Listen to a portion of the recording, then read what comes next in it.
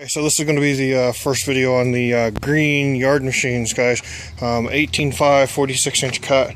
Um, basically, I'm just going to do a full walkthrough, what I know about it, and what we're going to do here. Um, I have not done anything to it. I did hook the charger to it because I'm going to try to start it here in a minute, um, but I haven't done anything else than that. So uh, I've already checked the oil. It's got plenty of oil. There isn't any gas in it, which is fine. I'm going to pull the breather off here, spray a little, uh, you know, goofy juice in there, and see if she'll start here in a minute. But um, this has a 46 inch deck on it. Um, has the belt for the deck itself, has the belt for the transmission and whatnot. Um, the belts all look pretty good in here. Like I said, I don't know how much you're going to be able to see with this bright, bright sun here. Um, but uh, when I was trying to back it up, it did make a little noise trying to push it backwards. But I don't know if that's just, you know, from it sitting or what. Because it has been, looks like it's been sitting for a while. Um, this mower does look like it's been gone through at least once.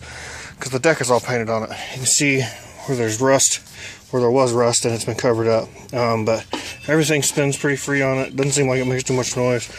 Um, but yeah, like I said, um, I don't know much about it other than I was told that it has an electrical issue. Well, I get to looking at it and you guys see this here. Um, somebody used a hole saw, cut a hole here, here, here, and then busted this thing out. Um, in here, there's a uh, clip. Stick my big hand in the way. So I don't know if you guys can see that. There's an electrical tape that's right there. Okay, so they've unhooked this um, for whatever reason and uh, probably goose something up in here. Who knows?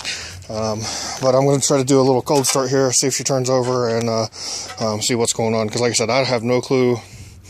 Got a good deal on it. What I'm going to do is do a whole walkthrough what I do with them when I get them.